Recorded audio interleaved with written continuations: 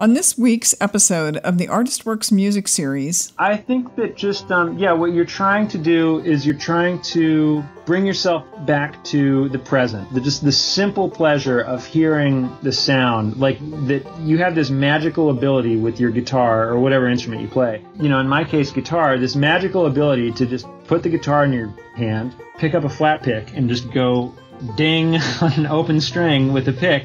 Like if you were a little kid, and you'd never heard a guitar before, you would be fascinated. It would be like, what is that? All this and more on this episode of the Artist Works music series.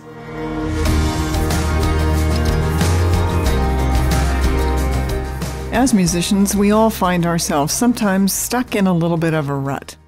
That can come from maybe playing the same music all the time, you're getting a little bit bored, or it might mean for you that you just can't get over a mistake you keep making or your skills just aren't advancing.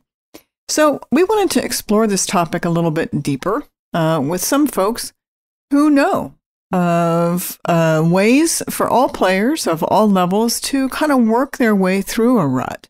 And it can take on a lot of different forms. So, that's why we're talking uh, to a couple of different artists. But today, I'm very pleased to be joined by our newest member of the Artist Works roster, Chris Critter Eldridge. Uh, and just because he's the latest doesn't mean he's any less knowledgeable about how players can find their way um, out of a rut uh, and into new advancement.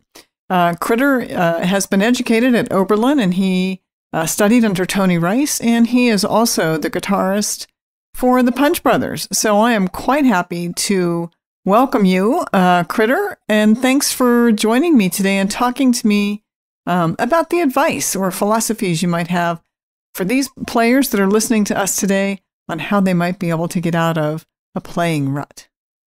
Oh, it's my pleasure. My pleasure. I love, uh, I mean, we've all kind of been there as musicians, um, and all of us who, who do this, you know, professionally do this with our lives, we've, we've spent a lot of time being stuck.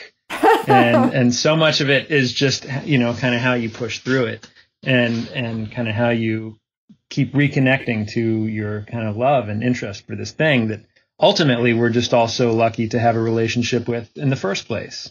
Well, as a musician, I find it comforting that you've ever been stuck. I'm, oh not al- I'm not alone.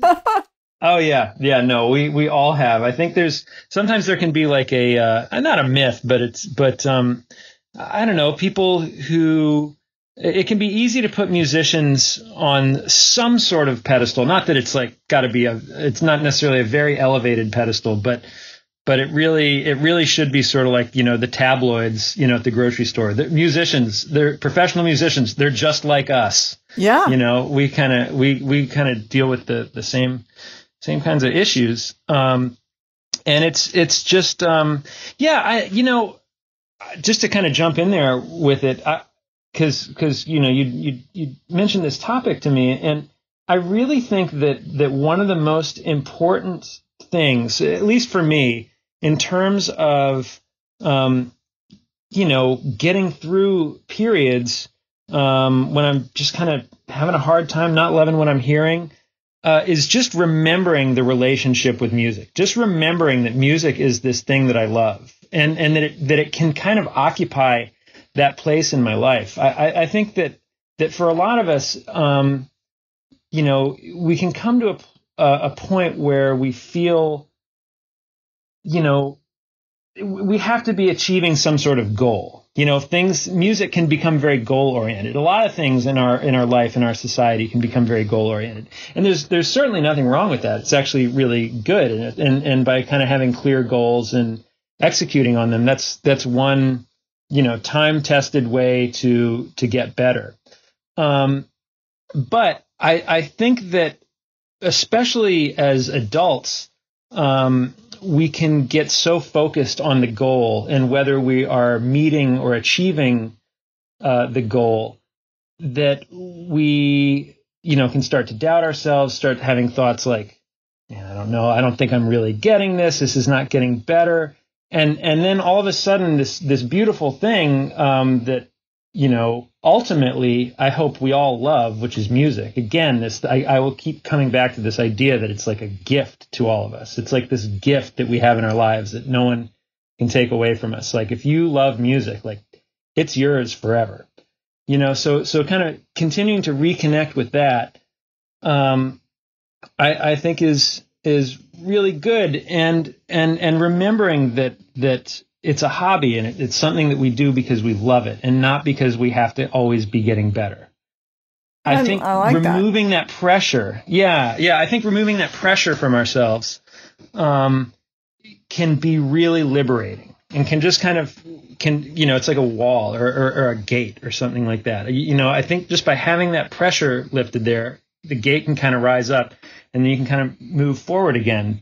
And, and which I think oftentimes uh, will happen really naturally. And this is true whether you're, you know, just starting out playing and you've been playing for like six weeks and you're like, well, I mean, probably the thing is, it doesn't happen so much when you when you when you've only been playing for six weeks because everything is so new and everything is so joyful, and you just find these things, and it's like, wow, like I didn't realize you can. That's how you play a C chord, and if I can play a C and a G and a D, I can play like tens of thousands of songs in like every different style. Like, whoa, you know, the the the vistas are pretty wide open early on, but but it happens. You know, it can happen to to rank beginners uh, just as it can to to, to people who who've been further um, along the path. Um, so I so I think just coming back to that that that um, realization that music is this beautiful thing that that you you loved and uh, and, that by connecting with that, it, it can become a, a source of um, kind of curiosity and, and, exploration. Yeah. Rather than something that you have to be achieving. I think I think that uh, achievement thing, uh, it can't. It it's great. It has its place. Um, in clear goals are wonderful, but I think it, it can become a little warped sometimes. Yeah. So you're helping us put it all in perspective. So being a being stuck in a rut, so to speak, or just being stuck may possibly be a a frame of mind. Um, but then, so that's very helpful. You know, it kind of takes some of the pressure off. Um, and maybe maybe practice isn't quite so onerous. I remember I had a conversation with Eric Marienthal, um, similar to this, uh, where we were talking about how if if practicing is just drudgery for you, you're working too hard. Just to, just to back yeah. up a little bit and enjoy the music you're making. What do, do you think that's a way to maybe reconnect? You mentioned reconnecting. Yeah, yeah. I mean, I, I think I, I think it always comes back. So for me, um, you know, there are all these different concepts that are kind of tied up in, in what we're talking about. You can approach it from a bunch of different angles, I think. And uh, you know, one might be motivation. You know, if we're talking about being in a rut, like what does that mean? Does it mean you're not getting better or that you, you're not motivated to like pick it up and work on it? Because um, ultimately, if you do really work on it with a curious mind, um, I, I, do actually, and you you know keep you push yourself. I do think you will expand. It's just our we're human beings. We all have you know plastic, very plastic brains. It's that's a true thing about being humans and this idea that you know you uh, if you don't start you know when you're in the womb that you're not going to be able to you know do something. It's just not true. That's it's it's simply um, you know uh, neurology kind of tells us it's not true. Brains are plastic till the very ends of our lives. So we can always we can always get better if we push ourselves. But but um, this idea of um, finding motivation is is is really important. And i think that you can often if if I'm in a rut where I'm not interested in playing, it's you know kind of trying to you know whip myself into into going. You know, trying trying to be like, man, you need to really. That doesn't work so well. What what works for me is trying to, um, like you said, and like Eric said, you know, take a step back and and try and discover what you love about music. Like have have like try and reconnect with your sense of curiosity about it. Because okay. if you're curious and if you can invest in exploring your own curiosity, if you can invest, if you can be like a, a detective and try and get in there and figure out, um, you know, uh, why you like the things that you like. Well, first of all, what do you what do you really like? Like, let's not take it for granted. What are the things we like? You know, you can think about that, and you can you might then reflect like, well, why do I like that? What is the thing about that that I like? Like mm-hmm. this, that's kind of interesting. I must like it for some reason, and you kind of get in there, and I think um, through through um, encouraging your own curiosity, which I those two things, those two little questions that I just asked uh, would be examples of kind of probing at your own curiosity. You know, like you know, it's a curious mind that's asking the questions, but those answers give you a place to then further explore yourself because what you love is going to be different than what the person you know next to you loves, which is going to be different than what the person next to them loves. You know, we all um, we all kind of have our um, interests you know, and, uh, you know, things we love, things we dislike.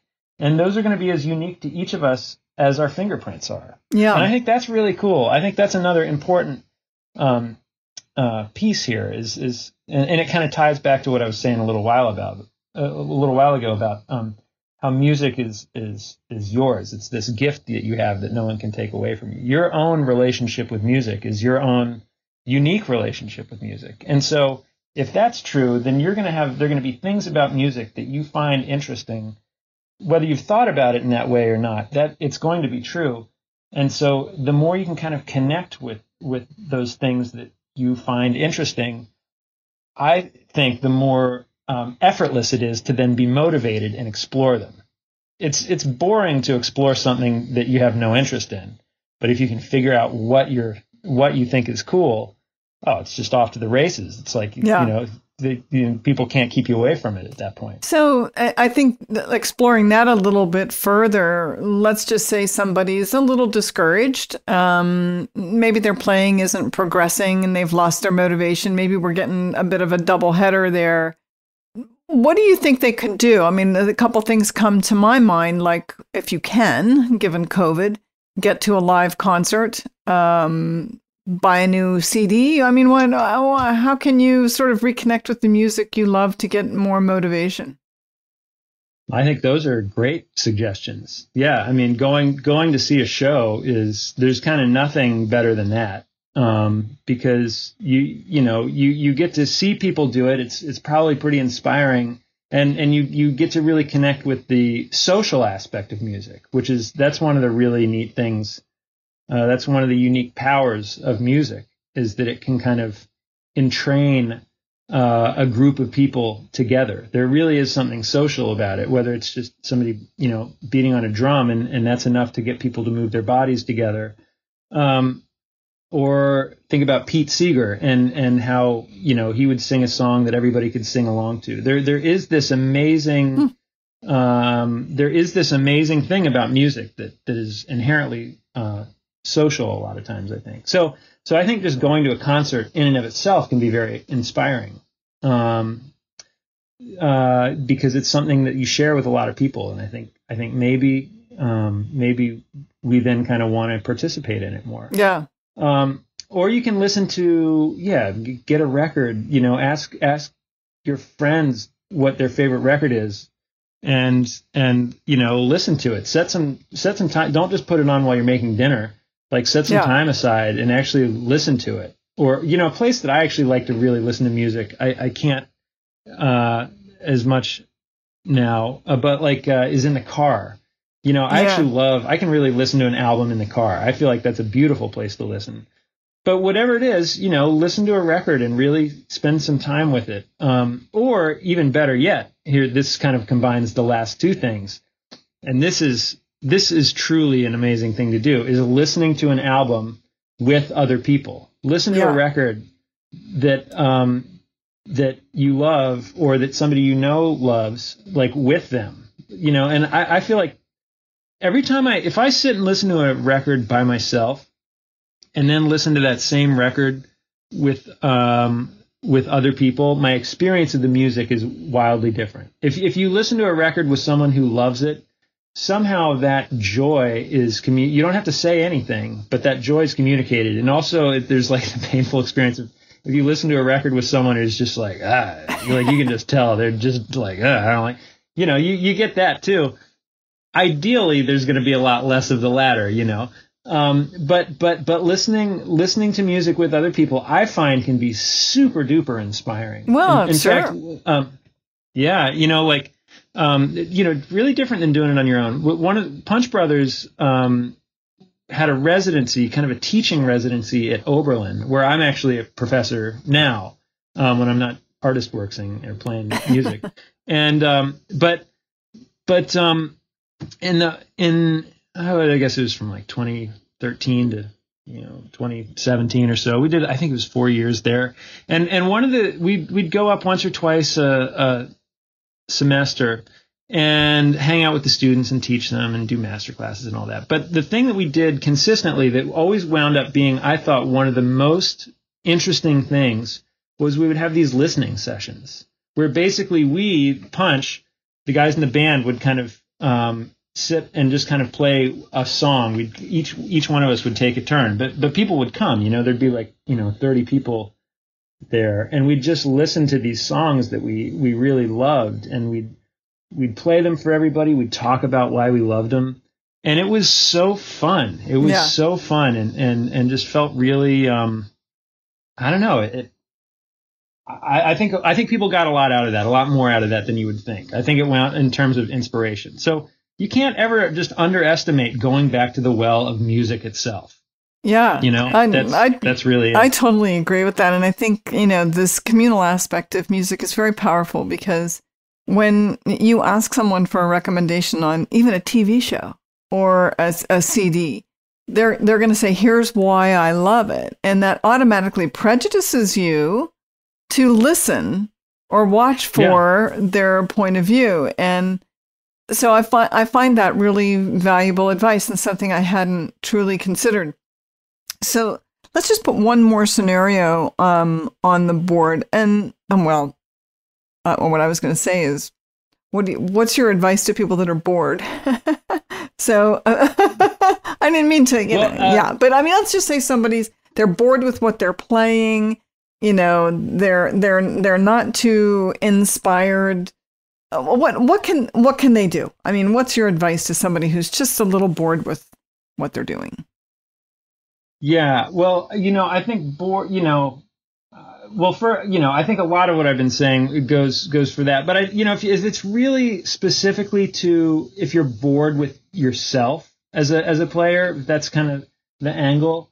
Um, Should they listen to different kinds I of music, can- different genres, maybe, or I don't know. What's your advice? Not mine. Yeah, you you I mean, yeah, totally. I mean, I think I, I'm kind of of the school that um, you know, there's good music and bad music. Um, so and there's like good music and everything that we uh, you know, I mean, genres do exist. Um, but I think most musicians tend to not be interested in the idea of genre because because we tend to relate to it in terms of like I think that's awesome or not. So so to me, uh, you know, Kendrick Lamar is is someone who I think is like a genius, but it might seem odd from some, you know, coming from me, someone who like makes his career ostensibly as like I don't know if you call what I do actually bluegrass, but you know, some sort of weird bluegrass musician. But he's he's brilliant. You know, I, I think you can find inspiration anywhere, and I, I think remembering to kind of keep your mind and ears open is is a is a really good thing to do. Um, so yeah, I think that. But another thing, I think, I think kind of connecting, reconnecting to some fundamentals about your instrument can be really fun. Um, so what do I mean by that? Like, here, here's something that Tony Rice taught me that I thought was this was one of the really neat, profound lessons he he gave me. Um, he he was he shared with me about um, uh, from the great Bill Evans, the Mhm. pian- the jazz piano Yeah. player. And apparently, Bill Evans said you should you should be content as a you know as a person having a musical musical experience. You should be content to play one note on the piano, one single note, and you can just play it. Boom. And just let it go, let it ring out, but just be absorbed. Listen to everything that one note has to give. There's so much there. There are overtones, like as it as it fades, it, you know, you'll hear the dynamic of it changing. You'll hear different overtones emerge as it gets quieter. You might hear some like higher up things that on that one note that you didn't really hear before. It's very fascinating. And and I've actually had good luck um, with that with myself when I've kind of been bored.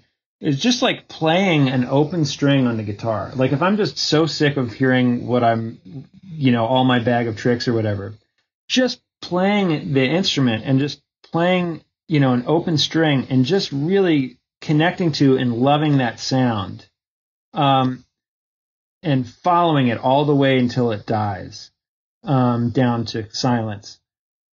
That that's a real. That's like going back to a well in a certain. In yeah, a certain it's very zen. It does Very zen. it yeah well what it does is it is it teaches you um kind of the the beauty of of kind of the sound that you- you're creating at any given moment. Like if that sound is beautiful and fascinating which it is it always is to me anyway um imagine when you can play you can put three notes together. Imagine how beautiful that can be. Um and kind of kind of switching your perspective, switching your headspace on that, um, I've found to be I think it's very powerful and I think it's very doable. I mean, it it is kind of zen and it does kind of require a certain kind of um, willingness to go there, but but but it's um it's there for you. I mean, I would I would encourage anybody to try that. Hmm. Um, just just do the thing where you you play a note and just l- like let it sustain, let it go the whole way, and really hear everything. Take in all the data you can about that note. Like you know, imagine imagine yeah, think of it even from that perspective. Like, okay, here's the volume changing. Here are these overtones. Here's like, here's maybe even the way that I hear it bouncing around the room, or maybe here, I maybe I play that note and I actually, oh wow, I like feel the the guitar like kind of resonating slightly against the underside of my arm. Mhm. I mean, there's so much from that experience uh, that could be really interesting if you kind of just take the time to remember to be present and listen to it. Yeah. And and once you've got that that head on, once you've got that kind of that sense of mindfulness on, it's like how could you be bored with anything that you're doing? Like how how could Yeah. you almost can't be bored, you know? No. um, which is um, I I mean I hope I hope that resonates with people but for me that's really really true um, because then if then you can play two notes and it can just be you don't have to be up to your old tricks you can you can reduce it down to something that's a lot more fundamental a lot more basic but you're kind of primed to hear the beauty in what you're doing and so you might you know have a fiddle tune you, you know that's how the tune could go but you could try taking a solo and go one, two, three, four. Boom. Boom, boom, Boom, boom, boom. Boom, boom, gung, gung, gung, gung. There you go. That's an A part of Billy in the Low Ground right there, improvised, using very few notes. And and to me, I don't know if that made sense to anybody else, but I, I was kind of into it. I was like, I haven't really heard it like that before. yeah. There's no hot licks involved. It was just kind of like, oh, that could that could be But I think you're really getting to the essence of some of these issues where people could, the reasons people maybe get stuck because it's so easy as a musician to get to to get um, focused too much on how many notes can I play, how fast can I play them, and you know how do how do I improvise? Whether you're a jazz player or whether you're playing bluegrass, it it doesn't matter. I mean, we really can get a little distracted by all of these, you know, bells and whistles, so to speak. And I, I love that you've brought it down to a musical mantra. And, and that's just Yeah. listening to something singular almost. And oh, I'm going to say something weird, but kind of becoming that note just yeah, sure. because you're, you're accepting everything that you're experiencing, whether it's, you know, kind of a visual thing or an aural thing. I, find you know that is very simple advice that any player of any music can do, and uh, you're you're. I don't want to talk too much here, but you're just kind of really getting down to the very core of what music is, and it is that sound and the quality of that sound. And if you're bored, now after you do that, you'll at least have, you know, a renewed connection to the very purest sound that you make. That's that's really really Yeah. great advice. Oh, good. I like it. I like it a lot. you. You know, that's and it's something I haven't heard before. I, no one has ever mentioned something that simple. So I guess we can say Tony Tony Rice's um, legendary philosophy lives on through you. Oh, well, you know, Tony, here, the, here's the thing. Tony was so wise. He was a really wise, deep guy. And, um, yeah, and all my time that I, that I spent with him, um, you know, which wasn't tons and tons of time, but I knew him my whole life and he kind of really took me on, he took me under his wing, like as his protege at a certain. And, um, and, and we just hung out and talked. It was all, you know, he wasn't interested in showing me uh, how to how to play, you know, his version of Gold Rush note for note. He knew if I wanted to figure that out, I'd figure it out. But we he he was kind of much more concerned, much more interested in some of these kind of big picture um, things, and I think that's part of why he was so great. He was he was like this kind of weird spiritual guru, and I don't think I don't think he necessarily would have realized it by listening I mean, you, you could realize it by listening to his music, but you also kind of think of Tony as this like machine gun, rapid fire, like amazing technician on the guitar. But he was a really um, deep thinker, really wise. Yeah. So I I think then it sounds like in the, the philosophies of Tony Rice have been passed on through you, where he looks at music in almost its simplest form, so that you can appreciate the grandness of it when you become an accomplished player like you. Well, he, you know, I think I think the beauty of it is that it, it it's it's not just for people who are, you know, quote unquote accomplished. It's it's kind of there for for anybody. You Mhm. know, you can. I feel like anybody can can make really profound um, music if if like well, there's no if. There's really no if about it. Uh, the the statement is anybody can make really profound music. It's like if you believe it and you're kind of right there in it, you can make something and and you're again not to go too much into this woo woo direction, but if like your heart is true about it, it can be really compelling. A, a beginner, and I've had this experience where where people people who um, are really kind of have only been playing for a very short amount of time and would be maybe considered beginners, make, making really profoundly beautiful music. I've absolutely heard that happen, um, and and so yeah, I think I think where we get into trouble is if if we get super um, achievement oriented and you feel like I'm only good if I can do X, Y, and Z, and that's just not true. Uh, you know, if if you want to do X, Y, and Z, that's great, and you should work on doing X, Y, and Z. Like that's awesome, and and go ahead and fill it in with you know T, you know W, um, you know just fill in the rest of them. It's great, um, but but there's no um, there's no prerequisite. There are no there are no boxes that you actually have to Yeah. check. Um, you know there are widely accepted um, values that I think make it easy to have a musical communication with someone else. Like like like playing in time is a really important thing if you're going to be playing bluegrass, for instance.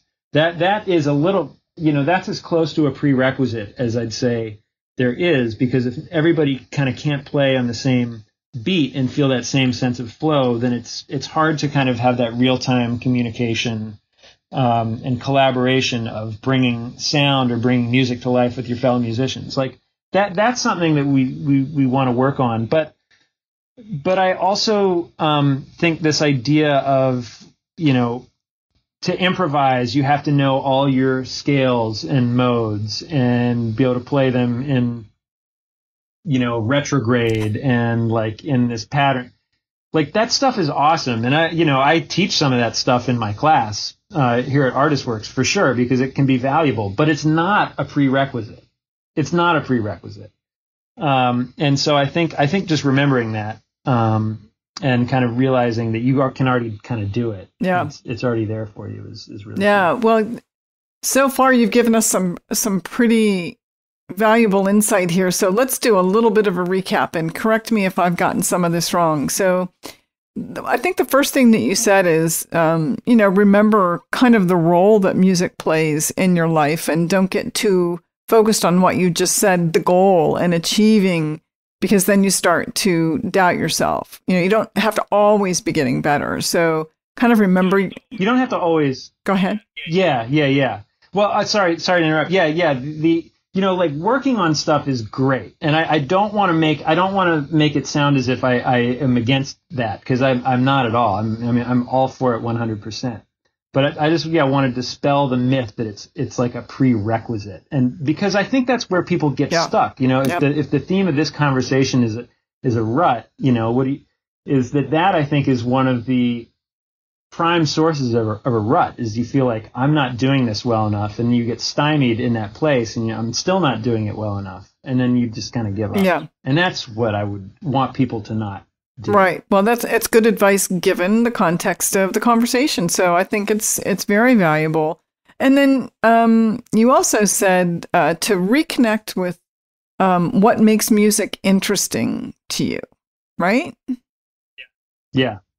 Yeah, so so whatever you know, again, we all are going to have our own um, things that we love, records that meant a lot to us when we were growing up, and and you know, there, it's going to be a unique fingerprint that that um, it, what we love is is a part of our identity, and and why we love the things we love is also part of our, our identity. So I think we can investigate that. That's a that's a that's a worthwhile um, uh, point of investment is kind of going into that, like asking yourself, why do I love these things?